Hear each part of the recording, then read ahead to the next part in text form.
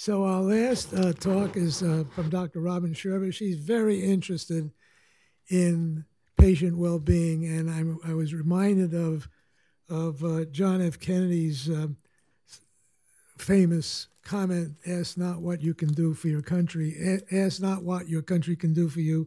Ask what you can do for your country." And and this is a wonderful way to close. And this this is intentional because uh, because Robyn is going to tell you what you can do for yourself rather than what your doctor can do for you. So Robyn, please tell us how we can all help ourselves.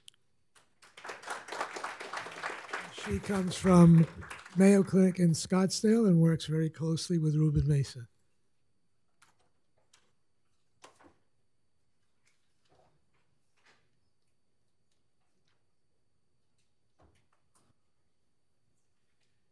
How's everyone doing? It's been a good day so far, hopefully. Um, I confess, and it might already be obvious, I am not the person in the room, especially not the speaker, with the most gray hair. but that being said, I have been doing research in MPNs for the last decade, and I've worked closely with Dr. Ruben Mesa, who sends his condolences that he's not here today. He, uh, he's busy uh, running the cancer center now. Um, so, I'm going to be talking about some of our research um, in diet, exercise, mindfulness. This is really just the tip of the iceberg. There's a million and one things that we can look at um, that are important for MPN patients. But the general idea is that I think that what we've heard today is absolutely fantastic. It's amazing how far therapies have come. But my concern and where I really want to focus is what are we doing to try to prevent it? What are we going to be doing once not just primary prevention, but what's called secondary prevention? So once, you know, low risk patients, ETPV, what are we doing to try to prevent that from getting worse? And I honestly think that we need very low risk, what we call scalable interventions, or interventions that essentially we could put in a large population. Um, that might actually do some good. Now, it also means the effect sizes might be, might be small, but even small changes over a lifetime might make a big difference in the end. So that's, that's where I'm kind of coming from from this is what can we do? So I'm going to be talking a little bit about some of our basic work and symptoms, so I won't perseverate on that too much because we have a lot to cover. Uh, and then I'm going to be talking about some of the interventions that we've put together, both in, again in diet or supplement use, exercise, and then also cognitive interventions. We've heard a lot today about the natural history of the myeloproliferative neoplasms and this idea that once the cells pick up these mutations, uh, especially in that JAK signaling pathway, but there's also mutations that can happen, especially in how the DNA of the cells are wound, and those are called epigenetic mutations. We see them a lot as our modifier mutations. Some people might have heard of the words ASXL1, TET2. Those mutations also can feed into the disease, but what we can see is that over time, as these cells pick up more mutations, they start to grow. And specifically in MPNs, this means that you have too many cells that grow. And then over time, we start to see the cells actually not grow as much, and we actually can see the inflammation go up, but we start to lose some of our blood uh, making capacity. If they pick up too many mutations, they can go into something called acute myelogenous leukemia, or AML.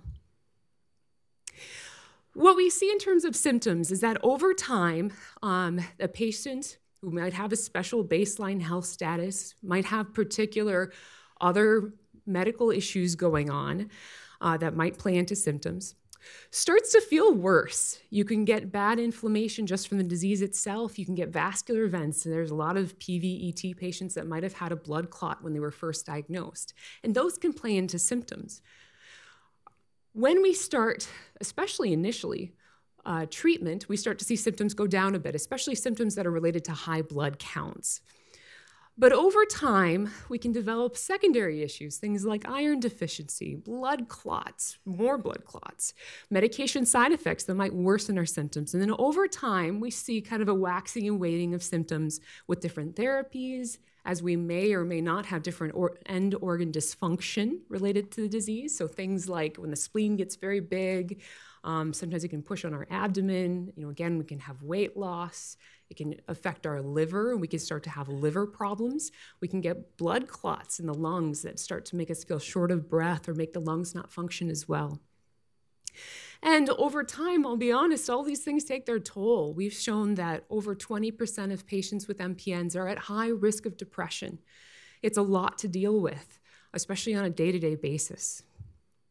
So ultimately, how can we do things to try to impact the disease course and the symptoms that happen with it?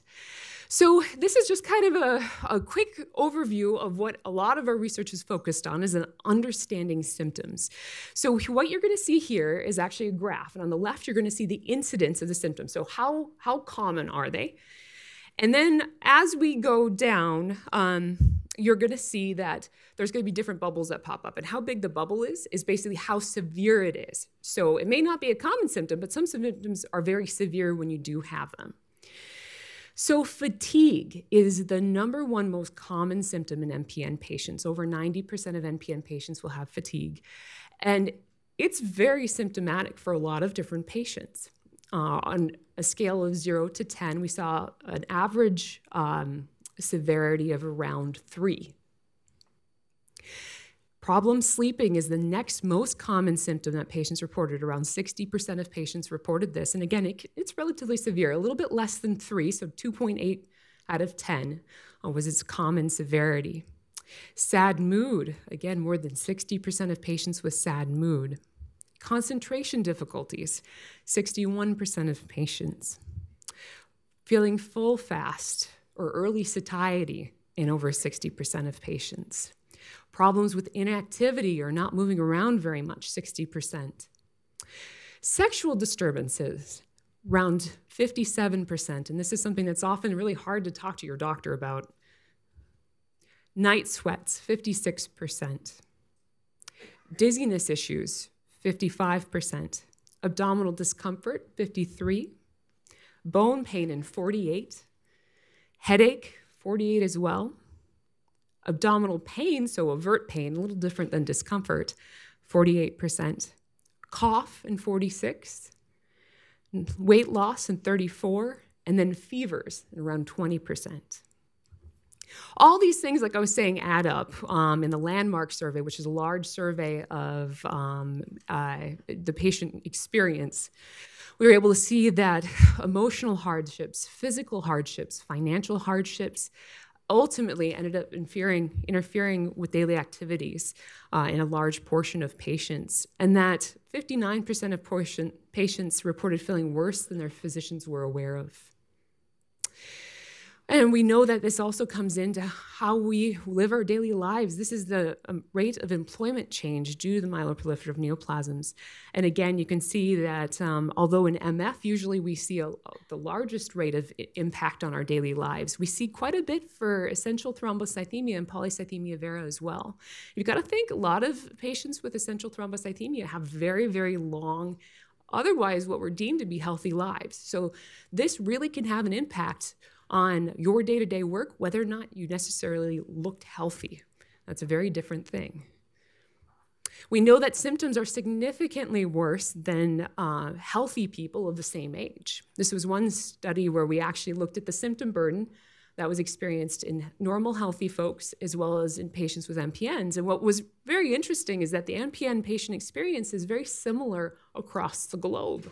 We've seen amazing, amazing results where a lot of the symptoms are almost the same in severity, almost the same in frequency uh, between us, here in the US, the UK, Australia.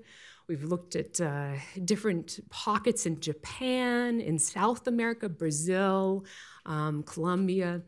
And it's just um, um, incredible that this patient experience is actually quite a bit shared. So, just to kind of go through this, because I, I, would feel bad if I at least didn't mention it. So, how do symptoms develop in MPN patients? Well, we know that vascular events can be a cause of symptoms. When you have a blood clot, either in your lungs or your abdomen or your legs, a lot of times there's a lot of pain with that. There's also this idea of microvascular symptoms where you may not have an overt blood clot, but there's definitely something going on in the blood vessels that causes some dysfunction there, and people can get even things like itching. Low or high blood counts can be related back to symptoms, especially low counts when we look at anemia, um, thrombocytopenia related to bleeding. Disease progression can relate back to worsened symptom profiles, especially if someone's transforming from essential thrombocythemia to myelofibrosis, we tend to see symptoms get worse. Organ dysfunction, again, this idea that if you have um, blood production in your livers, or in your liver or your lungs, it's not going to work as well. You might feel really short of breath. You might have pretty bad liver dysfunction that sometimes might even cause fluid accumulation in the abdomen. Um, so there's many different types of end organ dysfunction that can happen. And finally, just this idea that these um, symptoms might be directly mediated by inflammation, and this idea that inflammation um, can actually impact uh, the amount of night sweats and fevers that we have. And it's all, again all on top of someone who may or may not have the greatest baseline health status. There might be other things going on. There might be bad heart disease. There might be diabetes. We know again this inflammation, just to kind of dwell on this a little bit, we've talked about so much inflammation today. But this idea that not only does it, again, relate back to symptoms, but we can see bad inflammation relate back to even nutritional deficiencies. This idea that weight loss, although some of it might be the spleen, some of it might be that you have so much inflammation, your body is not able to absorb as well in the gut, be it from the microbiome or just from the gut itself, not being able to work as properly. We know that this inflammation can contribute to anemia of chronic disease along with the disease course. So the mutant cells will take over, but the normal cells aren't going to grow as well. This idea that we can see inflammation contribute to blood clots. This is something that now more than ever realizing is a key part of the thrombotic risk with MPNs. And then again, that end organ dysfunction. So, what if we could develop easy techniques that might be um, effective at reducing this inflammation? So that kind of brings us to our next section. We're going to be talking a little bit about um, some of the different ways that we've been looking at and trying to impact potentially not only the inflammation, but the, the general how you feel. And ultimately, although we are still very early, our hope is that someday we might actually be able to help prevent things from getting worse. So, the first one is nutrition that I'm going to be talking about. And this is something that's very near and dear to my heart. Um, there is this idea of a Warburg hypothesis. So this is something that they actually thought about back in the 1950s. This idea, and I'm sure you probably have heard of it, that um, metabolic syndromes, especially even things like high glucose, might feed cancer cells. And they've looked at this in solid tumors. So this model is specifically in solid tumors. But what we can see is that through a variety of mechanisms, especially having too much glucose can actually feed cancer cell survival. And this does it through basically encouraging growth, sometimes of fat cells that might actually uh, create more inflammation for the body. This idea that a lot of our hormones the hormones that are related to diabetes get, can get worse if there's too much blood sugars. Uh, again, the gut microbiome can be affected by this. Um, there can be other. Um, uh, immune cells that are triggered in high, high environments where we have some sort of metabolic syndrome. And we know that blood cancers are unlike any other types of cancers. They're very unique. I have the hardest time in clinic explaining to people who are newly diagnosed what, what it's like to have an MPN because they get terrified. They're like, Is this a cancer? And I'm like, Well, it is, but you have to think of it in such a different light. This is something that you could live potentially a long and healthy, somewhat normal life with. But it is something that uh, ultimately we want to make sure that we're trying to do our best to prevent things from happening in. But so few other cancers are like that. This idea that you, we can't cure it, we can't cut it out, but we want to do what we can to try to curb the effects. So we do know that in other disease states, diet can be effective. Um, what's been looked at at the most is the Mediterranean diet, and specifically that diet has shown reductions in heart disease in basically an overall mortality, or people survive longer with heart disease if they go on the Mediterranean diet. Uh, we have, see inflammatory markers go down in different diets. Again, the Mediterranean diet specifically has seen some markers that we see elevated in MPN patients. And then even markers of blood clotting can go down with different diets. But it really brings in the question too in, in designing these studies that I I was struggling with was this idea of which diet. There's a million and one different diets. And I think the idea is not to throw the baby out with the bathwater. There's a lot of key anti inflammatory nutritional components that could be potentially beneficial that are incorporated into a lot of these different diets. Um, we know that there's a lot of anti inflammatory potentials in things like fruits and berries, vegetables, turmeric, nuts, dark chocolate, fish oils, especially things like salmon, green tea, garlic, many other herbs and spices, and whole grains. And so, this whole idea that maybe we can kind of try to develop a diet that might be effective, and we might have to try different diets. We also might have to try different techniques. Lately in the literature, it's been very common to do something called intermittent fasting. And intermittent fasting has been shown to have pretty significant effects that might improve the health of someone. They see improvements in microbiome, reduced inflammation, improved insulin sensitivity. So, again, maybe the glucose levels might be um, less dysregulated. And we can actually see even improvements in resting heart rate. And just to kind of go through, intermittent fasting is this idea that you only eat for a certain hours during the day. So traditionally, people usually pick between noon and 8 p.m. So after 8 p.m. to noon the next day, they won't eat anything. I, they don't necessarily change their diet around at all. It's just this idea that you're giving your body some time without basically the constant supply of nutrients. So, this whole idea is what fueled uh, a few years ago now uh, this idea of a nutrient survey. So, we had over um, 1,300 MPN patients from around the globe, 37 countries respond. And we asked them about basically what was their nutrition like, what was their supplement use like.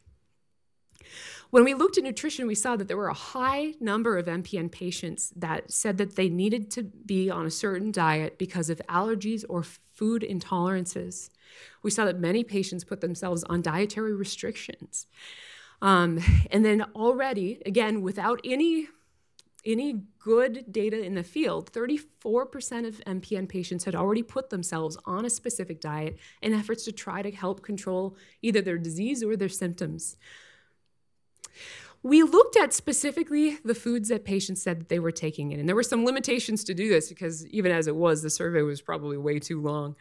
But the idea that certain foods seem to be associated with improved symptom burden and other foods seem to be associated with worsened symptom burden. But I wouldn't read into this too much. Definitely do not take this as a Bible of what you should or shouldn't eat.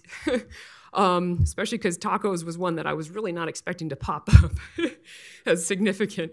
But this idea that I that a lot of refined foods, a lot of refined sugars, fast foods, fried foods, a lot of those were associated with worsened symptom burden. So it really brought in this idea that I do think that there's a signal here, something that we could do to try to improve at least symptom burden, if not, try to help reduce inflammation. Uh, we did ask patients whether or not uh, they would be willing to change their diet or interested. Um, between 96% and 98% of patients would be willing to change their diet to help their control their symptoms or their disease respectively. So this has led to two different efforts that I won't detail too much here, other than to say that um, uh, one of them has almost completed accrual, and that was the, the nutrient study that uh, I worked with Angela Fleischman at UC Irvine to get that up and running. And specifically, we looked at the Mediterranean diet, and she's seeing early signals in terms of people feeling better. Uh, she has a lot of data analysis left to go through as well. The second efforts that I'm starting up um, are specifically looking again at different metabolic states that might impact this cancer cell growth and development and specifically whether or not we can decrease that. And it will be an intensive study, specifically looking at this idea of nutritional ketosis. It's a different way of metabolism that you can push your body into. It's not for the faint hearted, and I certainly would not tell anyone in the room to go on it because it, there can be significant side effects that we're going to be monitoring for. Things like too much protein can cause renal issues, uh, can cause electrolyte issues. So you have to be careful. One other thing along the idea of nutrition was supplement use. So, in that survey, we asked patients about what supplements they were taking. Specifically, the ones that popped up significant were this idea that amino acid supplements and another supplement called N-acetylcysteine were significantly associated with improved um, uh, symptom burden. And it was interesting because we actually had already some interest in N-acetylcysteine. N-acetylcysteine is a supplement that um, regenerates your body's major, basically, anti inflammatory potential or antioxidant potential. Uh, I won't get into too many of the mechanisms, but essentially, uh, free radicals, if anyone's heard of that, or basically bad inflammatory compounds in the body, can potentially be somewhat absorbed by this. But N-acetylcysteine will go in and kind of regenerate our body's natural mechanism to try to deal with those bad, bad components. It's also been looked at more and more in the literature from everything from allergies to mood disorders to neuropsychiatric disorders to inflammatory disorders, viral illnesses. The list goes on of different people that are looking at N-acetylcysteine in different areas. And one interesting area for me was this idea of N-acetylcysteine and thrombosis, and it's being used in a couple different cardiac studies. Uh, it has some thrombolytic properties, which means that it might help break down blood clots. But that also means it might have an increased risk of bleeding. And as all of you probably know at this point, based on all of our different talks today, there can already be an increased risk of bleeding in MPN patients. So we are also moving forward to looking at this in a prospective clinical trial. And we're going to be hopefully pulling this out into multiple different centers through um, a large uh, cooperative oncology group uh, I will say, just also N-acetylcysteine back years ago actually showed some initial murine model improvement in uh, MPN markers. So this was a JAK2 mutated mouse model, and they were able to see some improvements in blood parameters, decrease in spleen size, increase in the frequency of, um, uh, or sorry, reductions in the frequency of JAK2 mutated cells. So, again, just to reiterate, what should I eat? I do not have any specific instructions for you at this time other than to eat healthy. I would eat lots of foods high in antioxidant potential. I think that that is a healthy thing. A lot of that follows along the Mediterranean diet that has been well studied and has been shown to be safe. I'd limit your intake of uh, significant foods like that ice cream pile that you see off to the right. Uh, I know it's tempting, but I, I think that it would probably be in your best interest not to eat those things. So let's talk a little bit about exercise next. So some of our early studies, this was from the, what we call the fatigue study that was done back in 2015, where we had over 1,700 MPN patients online respond to a survey. What was so interesting about this was this idea that there looked to be a bit of a what we call a dose response between exercise and fatigue. This I, but it's also take this as a grain of salt. It also could be the chicken and the egg. So what we saw is that patients who exercised more had the least fatigue. You're like, well, Dr. Scherber, that makes so much sense. Uh, you know, of course, I'm not going to go out for a five mile run if I am not feeling well. so that very well might be what it is. But it also brings this idea of, well, if you start to exercise more, could you help reduce your fatigue?